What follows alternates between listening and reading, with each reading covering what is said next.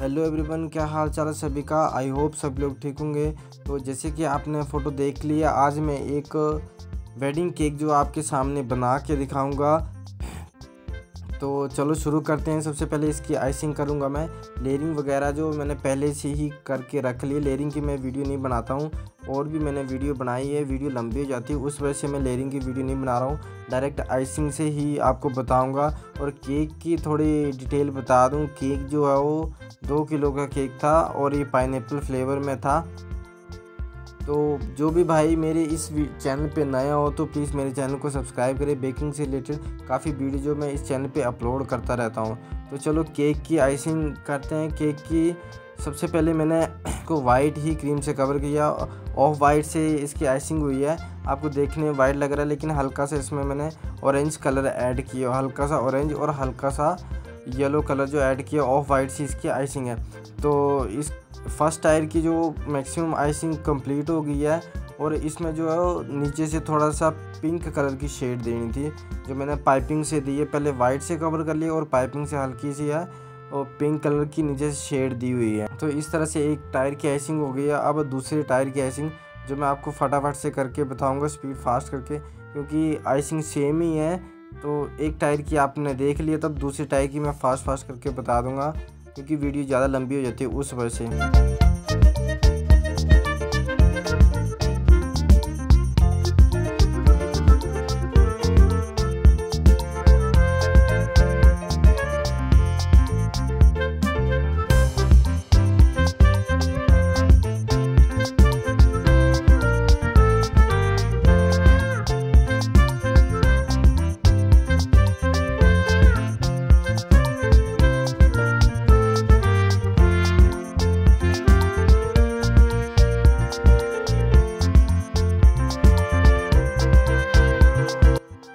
इस तरह से दोनों केक की आइसिंग कंप्लीट हो गई है और मैंने इसको जो है बेस पे रख दिया है दोनों केकों को और अगर टू टायर का केक हो तो आप मेरी एडवाइस यही है कि आप ज़रूर उसमें केक डबल डालो ताकि केक सेफली पहुँच जाए कस्टमर जहाँ पहुंचाना चाहे। और इसमें जो मेरे से एक छोटी सी गलती ये हो गई थी कि इसमें अगर मैं, जैसे आप लोग वीडियो में देख रहे हो, इसमें गोल्डन कलर का रिबन है।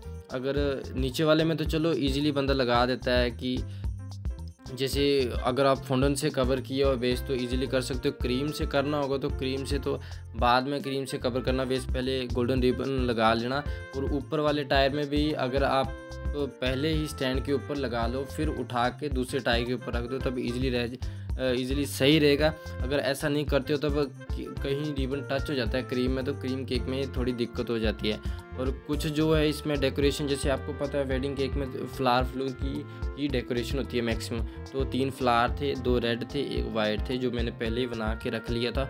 इसके नीचे मैंने टूथपिक लगा के वाइट चॉकलेट लगा के इसमें केक में लगा दिए ताकि हिले डुले ना, इसके भी ना आगे गिरे बिना।